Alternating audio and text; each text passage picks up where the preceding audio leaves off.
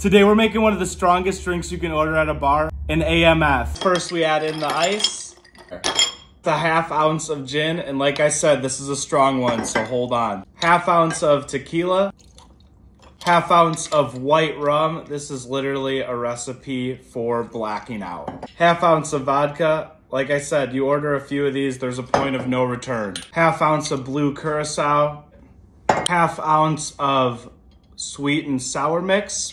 Put the cap on and let's give it a good shake. Pour our mixture over some ice. You can add a lemon pinwheel for garnish, but let's be honest, if you're ordering this drink at a bar, you're not trying to be fancy. Top it off with some Sprite. I got the zero sugar edition, don't judge. Finally, let's take a sip. This tastes like one-way ticket to Blackout City. After drinking these all night, you're gonna wanna go to church and repent for your sins the next day.